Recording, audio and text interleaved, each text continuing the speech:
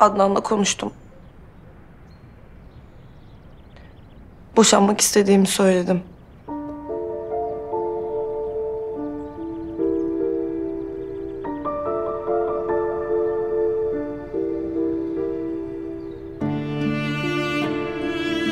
Neyin şovu bu Allah aşkına ya bırak. Hadi. Anne konuştum diyorum. Lütfen affedecek misin beni artık? Anne bir şey söyler misin lütfen? Bak konuş dedin tamam konuştum. Ne istersen yaparım boşan dedin tamam boşanıyorum. Ben odamdayım. Anne lütfen.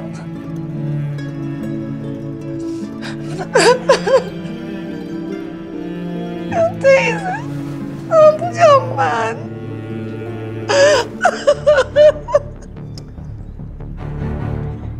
Şey yapmayacaksın. Evine geri döneceksin. Ya olmaz. Olmaz dönemem. Ya ben çok vicdan azabı çekiyorum. Annem beni affetsin istiyorum artık. Ya ne isterse yaparım tamam boşan dedi. Boşanıyorum. Kızım o senin gerçekten boşanacağını düşünmemiştir. Ne yapacağım ben o zaman? Irmak. Irmak. Bak bakayım yüzüme.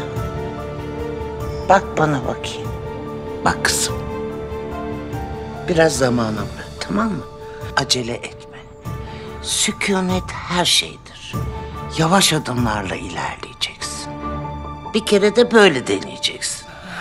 Yani madem bu yola baş koydun, isyan etmeyeceksin. Hoş.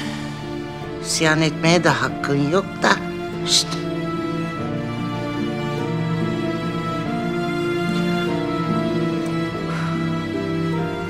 Boşanacakmış. Madem boşanacaktın, onca acıyı niye çektirdin bana? Ömrümden ömür gitti.